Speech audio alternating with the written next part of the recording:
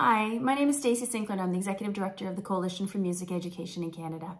Thank you for watching and thank you to all the students and performers who contributed to this year's Spotlight celebration.